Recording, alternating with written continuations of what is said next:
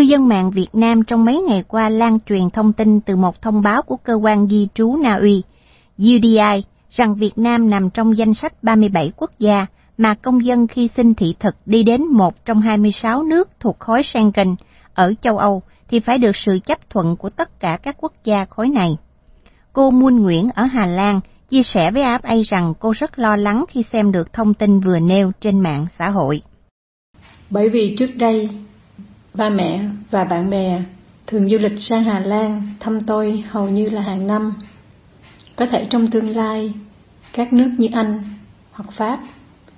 sẽ rất khắt khe trong việc cấp visa du lịch đối với người Việt Nam và cơ hội sẽ rất là hạn hẹp nên cũng hơi lo ngại. Một số người Việt ở châu Âu mà Đài Á A tiếp xúc được cũng bày tỏ giống như cô Muôn Nguyễn rằng cuộc sống khá bận rộn và không có thời gian về thăm gia đình ở Việt Nam. Do đó sắp tới đây có thể cơ hội được thân nhân thăm gặp sẽ bị ít đi vì xin visa Schengen không được như trước nữa. Đá Châu Tự Do còn ghi nhận một thành phần giới trẻ Việt Nam là những người thích đi du lịch nước ngoài cũng cảm thấy quan ngại trước thông tin này. Một thanh niên ở Hà Nội không muốn nêu tên nói với AFA. Cái việc về châu Âu xem thế là cũng hơi, hơi quá nặng vì là thực ra một số không phải Việt Nam một số nước đã từng xảy ra trường hợp ví như là Trung Quốc hay là các nước ở Bắc Phi hoặc là các nước khác tôi nghĩ là nước ờ, nước mình nên là quản lý chặt chẽ hơn cái việc sản xuất nhập cảnh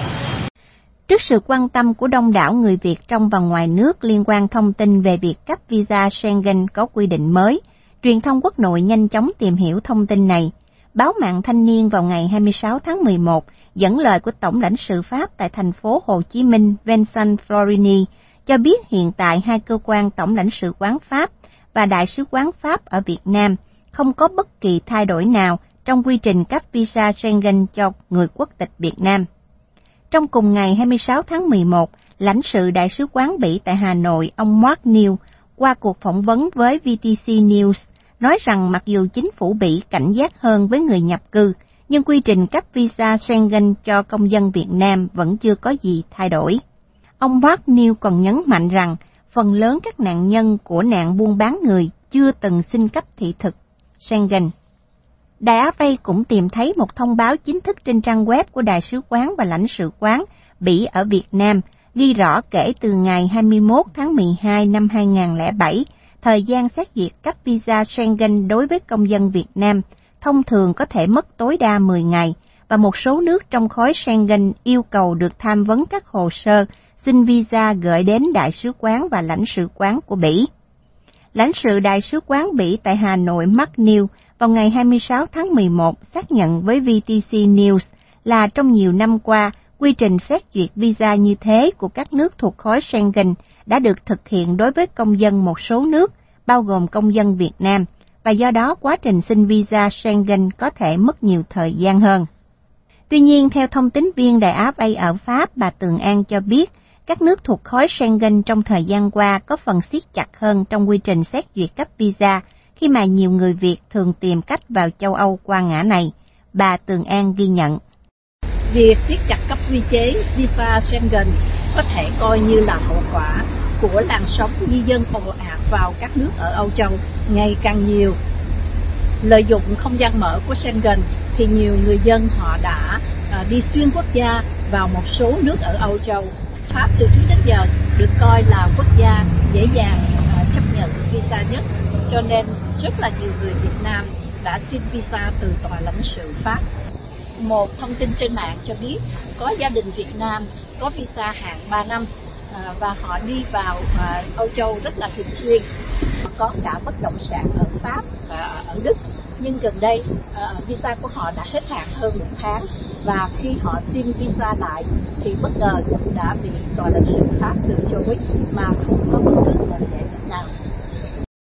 liên quan đến vụ 39 người Việt bỏ mạng khi tìm cách đi lậu từ Bỉ vào Anh hôm 23 tháng 10 vừa qua, ông Nguyễn Văn Mỹ, giám đốc công ty du lịch Lửa Việt vào tối ngày 26 tháng 11, cũng cho rằng có sự ảnh hưởng trong việc xin visa đi du lịch nước ngoài trong thời gian sắp tới. À, chắc chắn là cái uh, qua cái sự cố vừa rồi 39 người mà bị tai nạn ở Anh thì cái việc mà xin ờ, thị thực nhập cảnh với các nước của Việt Nam nó sẽ khó khăn hơn. Cái đó nó cũng uh, tạo những cái khó khăn nhất định cho cho các công ty lữ hành. Dạ. À, dĩ nhiên là châu Âu cũng uh, cũng chỉ là một thị phần thôi, chứ không phải là là là tất cả. Và tôi nghĩ rằng là thật ra các nước họ làm như vậy họ cũng cũng không phải là là sung sướng gì mà có vì vì lý do an ninh họ phải làm như vậy thật ra để mà thiệt hại thì cả hai bên người Việt là muốn đi khó khăn hơn nhưng mà những các nước đó họ cũng muốn đón khách Việt Nam bởi vì hiện nay nó có một cái uh, xu thế là người Việt đi nước ngoài khá đông. Năm vừa rồi là um, con số chưa thông báo chính thức nhưng mà khoảng 89 triệu người đi nước ngoài.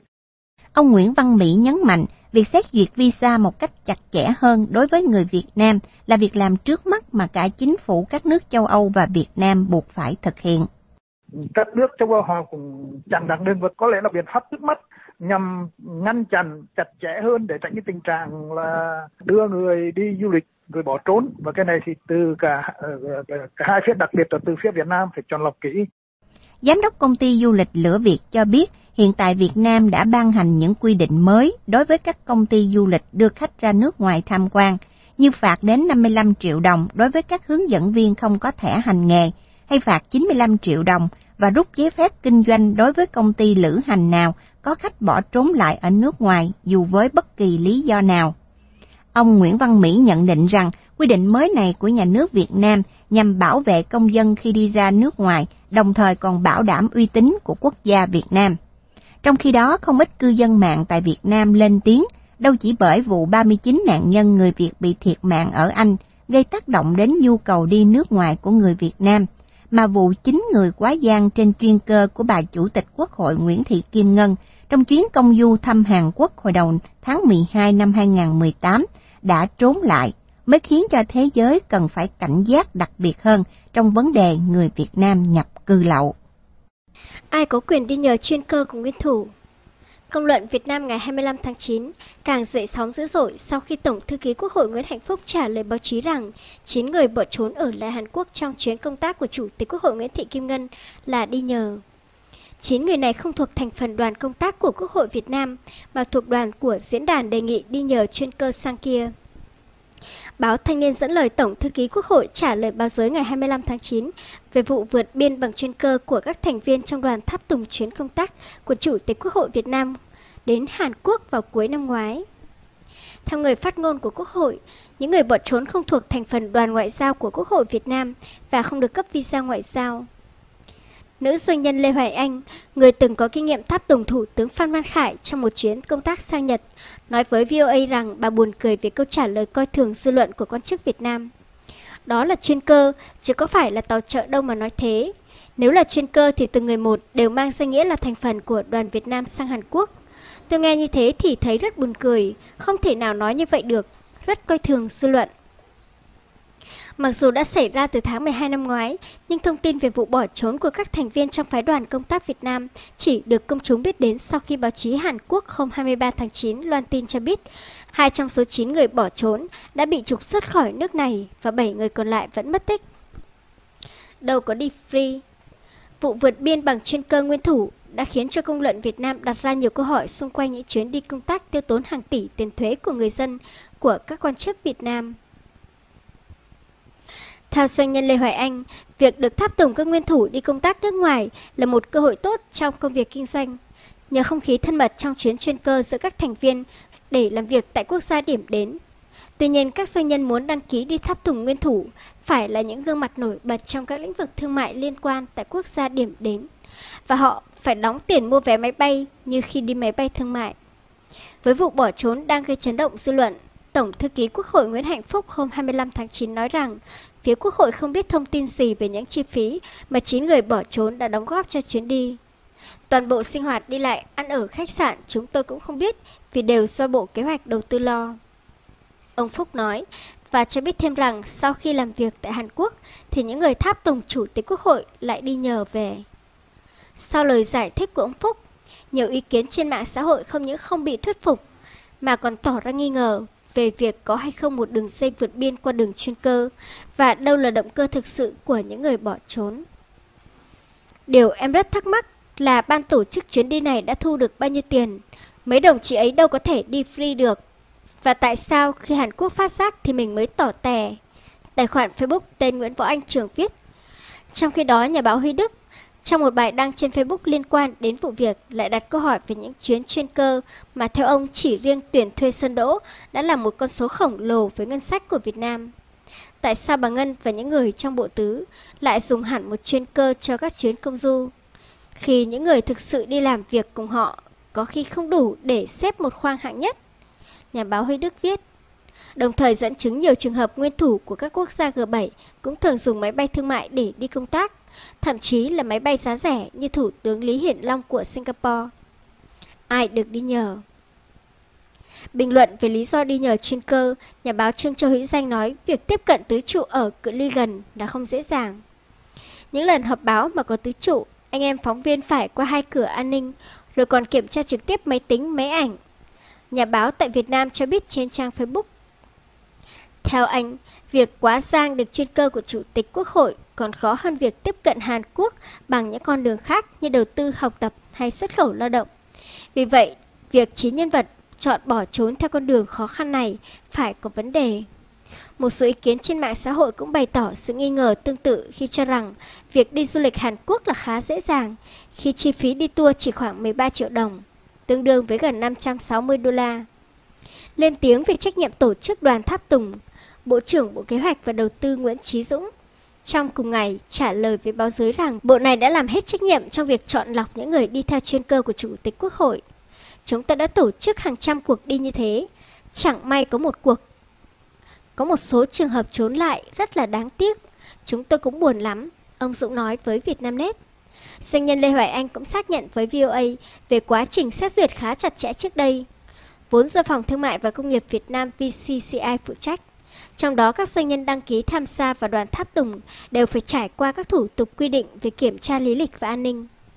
Nhưng dưới sự quản lý của Bộ Kế hoạch Đầu tư và câu trả lời của người đứng đầu bộ này, nữ doanh nhân này không khỏi đặt câu hỏi vì sao con voi lại có thể chui qua lỗ kim. Trong vụ bỏ trốn mà bà gọi là nỗi nhục quốc thể này. Nếu chỉ một hai người tôi còn tin họ bất chợt nổi hứng bỏ trốn, chỉ đến 9 người thì cháu tôi nó cũng cười khẩy. Bà Hoài Anh nói với VOA. Là một người chạy ăn từng bữa, nhưng tôi chưa bao giờ nghĩ đến chuyện trốn chui trốn lủi ở nước ngoài kiếm sống tủi nhục, chứ huống gì những vị được chọn lọc, thẩm định hết sức cẩn thận, xem xét từng đối tượng như ông Dũng nói. Chỉ có những kẻ chuẩn bị từ trước, có tiền bạc, địa vị và chạy trốn vì lý do nào đó thôi, chứ không phải sang đó kiếm từng đồng won mới lọt vào được danh sách thẩm định kỹ càng này. Người dân chúng tôi rất muốn biết về những vị đi nhờ là như thế nào, bằng cách nào họ lọt được vào đoàn và cuối cùng trốn lại, bà Lê Hoài Anh nói với VOA.